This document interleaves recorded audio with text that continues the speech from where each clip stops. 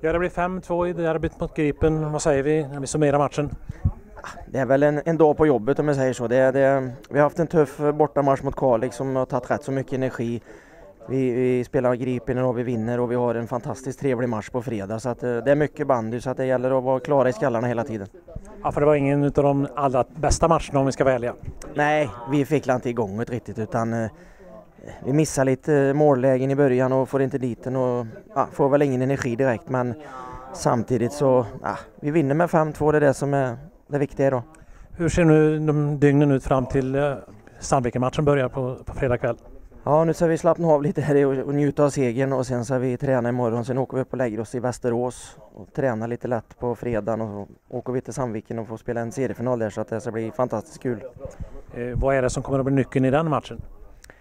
Det är väl allting utan det, det gäller ju liksom att försöka hitta vårat spel och, och, och täta defensivt givetvis och kunna ställa om på Sandviken lite. Så får vi se, det, det är två bra lag så det blir säkert en jättebra match.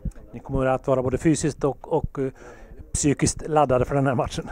Ja, det hoppas jag. Vi behövde väl inte slita ihjäl oss idag utan uh, lite juniorer som fick spela rätt så mycket och vi fick vila lite så att uh, en bra match för oss. Lycka till på fredag säger vi. Tack så mycket. Ja, Joel, målskytt och pris. Hur känner man sig då efter matchen? Ja, det var gött att få sätta ett igen, så ja, det var kul.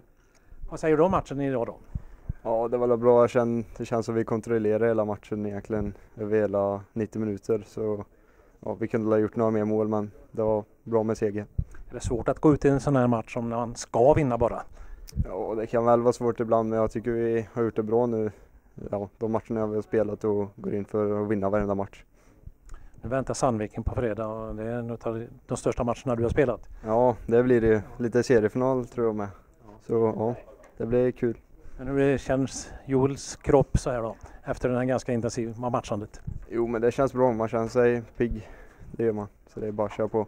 Pigg i huvudet också? Ja då. Tack för idag. Ja, tack så mycket.